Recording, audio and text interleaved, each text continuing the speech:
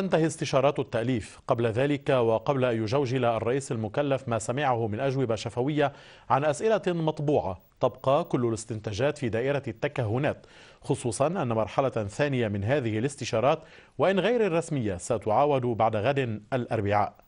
في موازاة هذه الاستشارات سجل أكثر من موقف لا يدعو إلى كثير من الارتياح.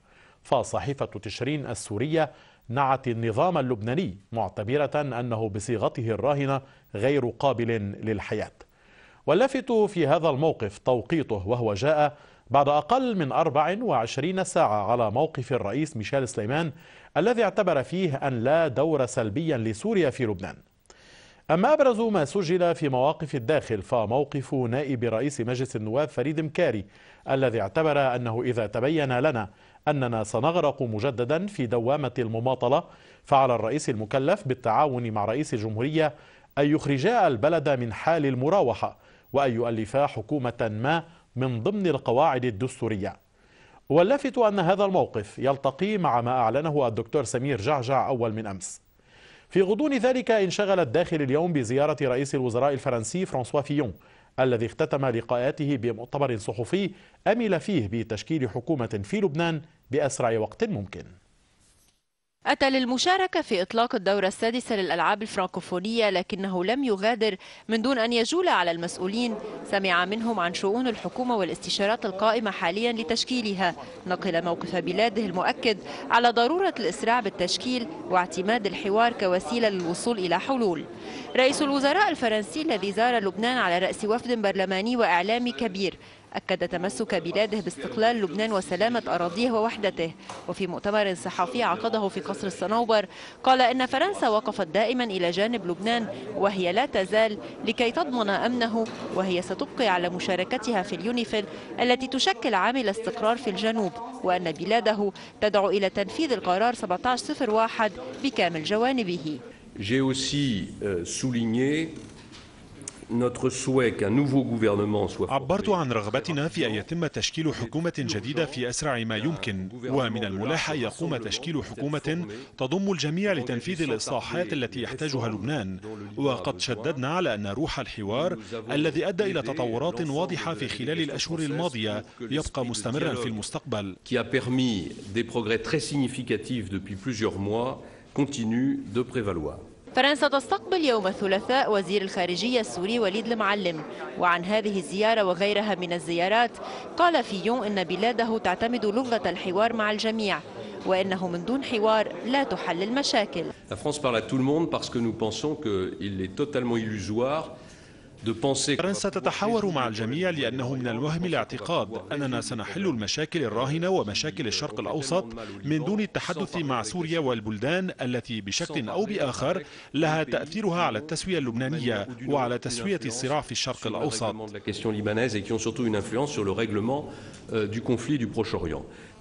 هذا الحوار سيستكمل بحوار صريح من دون امتيازات ولكنه حوار ضروري. ردا على موقف الرئيس الإيراني من كل من فرنسا والولايات المتحدة الأمريكية وبريطانيا اتهم فيون إيران بإخفاء الوقائع وتخوف من فشل الدبلوماسية التي تقودها بلاده والتي تقوم على إحلال السلام في منطقة الشرق الأوسط وعلى مد جسور الحوار بين الدول والأنظمة.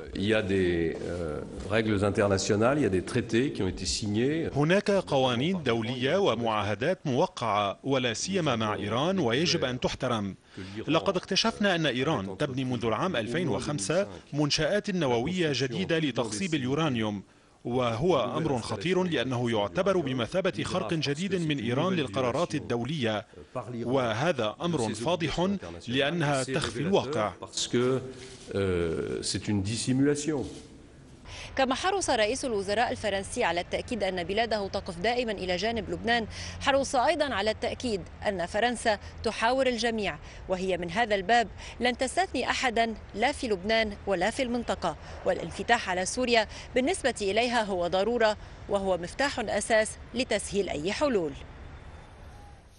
وكان في يوم جالة على المسؤولين فالتقى على التوالي رئيس الجمهورية عماد ميشيل ستيمان ثم الرئيس سنيورة والرئيس بري قبل أن يلتقي الرئيس المكلف سعد الحريري الذي أقام على شرفه مأدبة غداء. العلاقات الثنائية بين لبنان وفرنسا والتطورات السياسية على الصعيد الداخلي كان محور لقاء رئيس الجمهورية ميشيل سليمان مع فرانسوا فيون رئيس الحكومة الفرنسية في القصر الرئاسي في بعبدة. فيون أبدى ارتياحه لمسار الأمور على الساحة اللبنانية أمنيا واقتصاديا وسياسيا وأعرب عن أمله في تشكيل الحكومة في أقرب وقت ممكن مؤكدا أن دعم بلاده للبنان في المحافل الدولية هو من الثوابت في السياسة الخارجية لفرنسا. كما جرى لقاء موسع مع الوفد الفرنسي المرافق لفيون تناول متابعة الاتفاقات الموقعة بين لبنان وفرنسا في مجالات عدة. فيو انتقل بعدها إلى السراي الكبير حيث استقبله في الباحة الخارجية رئيس حكومة تصريف الأعمال فؤاد السنيورة وعدد من الوزراء.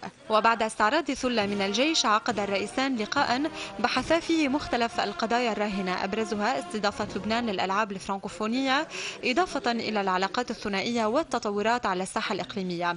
وتل اللقاء الثنائي لقاء موسع ضم أعضاء الوفدين اللبناني والفرنسي شدد بعده السنيورة على أهمية الانتخابات النيابية الأخيرة التي اعتبرها أنها الأكثر ديمقراطية منذ خمسين عاما مشيرا إلى أن نتائجها جاءت ممثلة بالفعل لإرادة الشعب اللبناني. كما أكد السنيورة مد اليد للجميع من أجل تشكيل الحكومة في أسرع وقت ممكن. المحطة الثالثة للرئيس فيون كانت في عين التين حيث التقى رئيس مجلس النواب نبيه بري وجرى عرض لمجمل التطورات الداخلية والإقليمية. ثم انتقل فيون إلى قريتم حيث كان بانتظاره رئيس الحكومة المكلف سعد الحريري. وجرى عرض للعلاقات الثنائية بين البلدين والمستجدات المحلية والإقليمية. واستبقى الحريري فيون على مأدبة غداء تم خلالها استكمال المحادثات.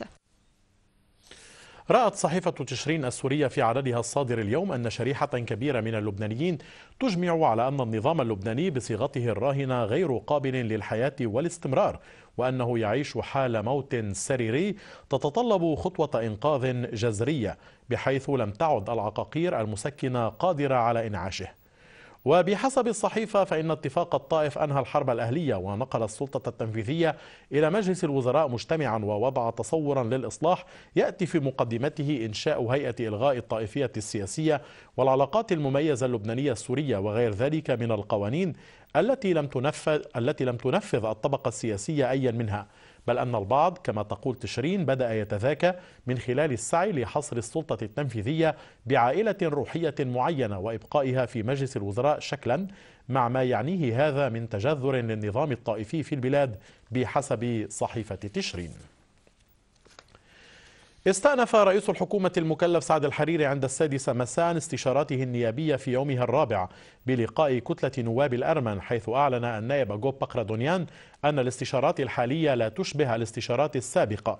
مشيرا إلى المساعي الجدية لدى الرئيس الحريري لتأليف حكومة وحدة وطنية. ولمزيد من التفاصيل ننتقل مباشرة إلى ساحة النجم مع الزميلة منى صليبة. منى هل برزت في هذه الاستشارات التي تجري في هذه الأثناء أي معطيات جديدة أو أي مواقف جديدة تؤشر على أن الأمور تتجه سلبا أم إيجابا؟ بسام الجديد في هذا النهار الاستشاري هو آه، آه، الإعلان عن جولة جديدة من الاستشارات. كنا نعلم أن هذه الجولة تنتهي يوم غد الثلاثاء ولكن أعلن عن جولة إضافية آه، كناية عن يومي الأربعاء والخميس. حسب ما علمنا أن يوم الأربعاء سيستكمل الرئيس المكلف الاستشارات ويلتقي كتل كان سبق والتقاها أبرز الذين سيلتقيهم يوم الأربعاء كتلة التنمية والتحرير وكتلة القوات اللبنانية وكتلة الكتائب اللبنانية. وعلمنا أن لقاءات الرئيس المكلف مع هذه الكتل يوم الأربعاء ستكون في فترة بعد الظهر وعند المساء وقد يضاف إلى هذه اللوائح أسماء أو لوائح أخرى على أن يلتقي يوم الخميس كتلة التغيير والإصلاح. كان سبق وأعلن النائب العماد ميشيل عون. أنه سيلتقيه ولكن لن يتمكن من لقائه الأربعاء بسبب تكتل التغيير والإصلاح.